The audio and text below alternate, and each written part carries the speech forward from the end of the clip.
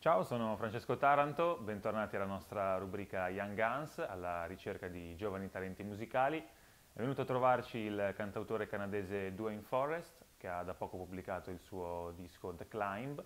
Il disco si chiama così perché eh, tratta della crescita personale e della ricerca spirituale appunto di Dwayne ed è ispirato anche dai suoi tanti viaggi che ha fatto tra Messico, Honduras e chiaramente Canada.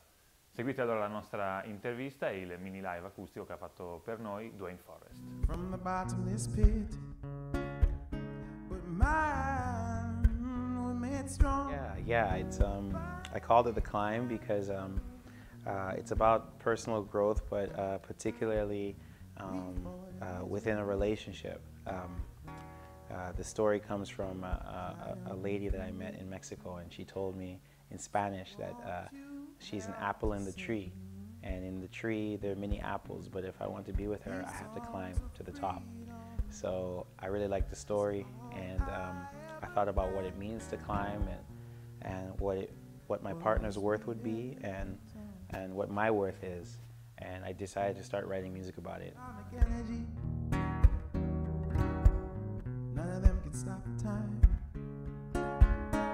How long shall our prophets? Yeah, 100%. Um, I, I really um, appreciate culture and, and languages, and of course their music. Um, and it's part of the reason why I like to travel. And I, I hear the different styles and um, the different ways they write um, words in their language and how they approach songwriting. And I've been trying to take a little bit from each place I go and, and like add it to my my soup of music, you know? Yeah. Bare feet will walk, I love those cute toes.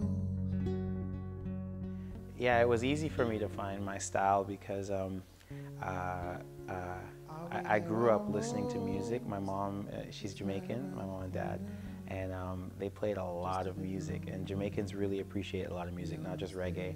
Um, we listen to all sorts of music, country, jazz. So I grew up listening to that mix, and um, so already it was easy for me to uh, start to develop that sort of uh, mixed sound. And, um, and my love of travel made it easier uh, for me just to add these elements to the music. And I hope to add more. She cried a bit. Italian people really appreciate music. Um, it's uh, uh, I'm not just saying this because I'm in Italy doing this interview. Um, they they've received me the the warmest.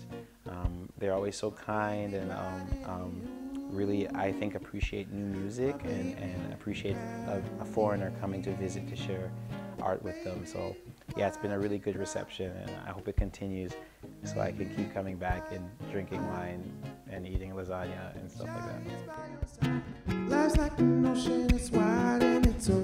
Possibilities floating around and Yeah, so um, Genesis Community of the Arts is a, it's an arts education project, and uh, I used to live in Honduras when I was traveling, and I saw that many people that were adults um, didn't know, had never had a chance to um, play an instrument or paint or, or do different forms of dance, and I thought it was a terrible, terrible thing, and I wanted to change it. So I started teaching art, music, and dance out of my house in, in Copan, Honduras.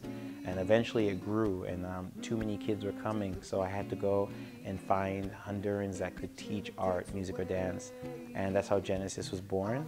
And so now we have five teachers um, over three sites in Honduras and in Guatemala.